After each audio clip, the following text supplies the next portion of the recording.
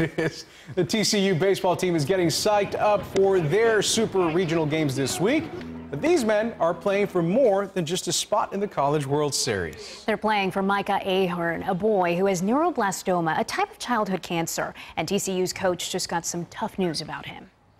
That was really hard because he, he truly is a big part of us. From their shirts to the freshly sewn M on their caps, Micah Ahern is much more than a boy battling cancer.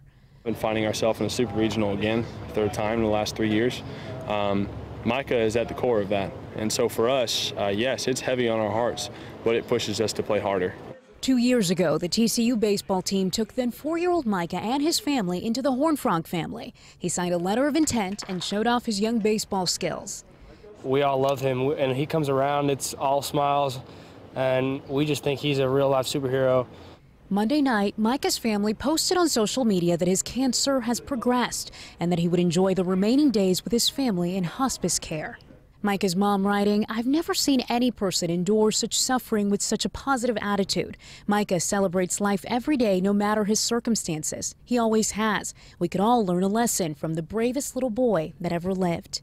It's a lesson not lost on his TCU team. I think it encourages us to, to play harder. I think it encourages us to embrace the moment, understanding that there's way more than baseball. Our problems may seem bad to us at the time, but you know, if we look at it in the scope of things, like what he's going through is, is unbelievable, and, and he's just a source of motivation for us. If there's one thing Micah stood for, it's never ever give up. And for this Horned Frog family, that's what we've been about. And regardless of what the prognosis is, and he, he truly is part of everything we do, uh, whether he's here or not, and that won't change uh, ever. And TCU plays at Texas A&M starting Friday. The players and coaches are all hoping to represent Micah well as he and his family watch back here in North Texas. We will be thinking of Micah and his family, and his mom is so right. We Yeah. could all learn from this brave little boy. Absolutely.